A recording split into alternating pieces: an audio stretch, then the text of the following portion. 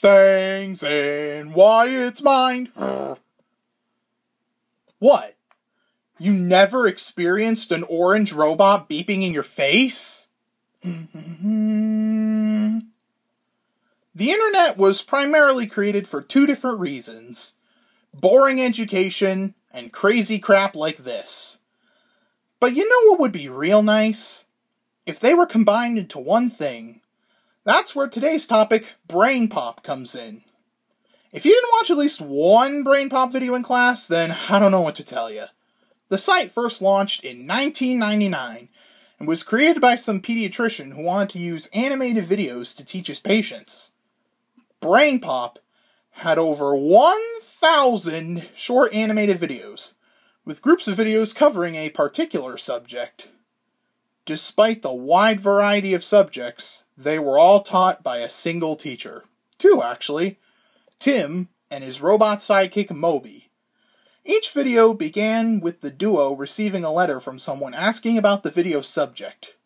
Tim would then spend the next five minutes answering the question contained in the letter. Moby would sometimes add his own little comments via his beeping noises. The teachers at my school seemed to trust BrainPop, which resulted in me and probably 20 other members of the Daydream team watching these almost weekly. Looking back now, I don't blame them. BrainPop is good for feeding your brain anything you need to know. And I hear it's way less expensive than enrolling into a college. BrainPop proved to be so dependable for any subject you can dream of that they eventually launched a BrainPop Junior. BrainPop Junior was made for kids between kindergarten and third grade. Aside from tackling smaller subjects, they also had a new host. Tim was replaced with a younger kid, but thankfully Moby still remained. There was also BrainPop ELL, which was made to teach English as a second language. And as time went by, the BrainPop universe expanded. Heck, it wasn't just the teachers who trusted BrainPop. I actually used one of their videos for a personal project once. But since BrainPop came from the late 90s and early 2000s and was quite popular back in the day, take one guess of what it looks like now.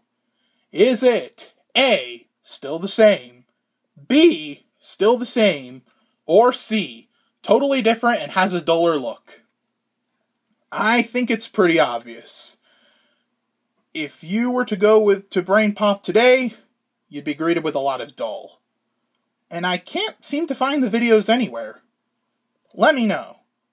Did you ever get shown a Brain Pop video in class at any point? They cater to any grade, so I'm sure at least one of you can go give a good answer. Anyway, let's see what comes into my mind next time, and I'm Wyatt Olinger signing off. Things in Wyatt's mind!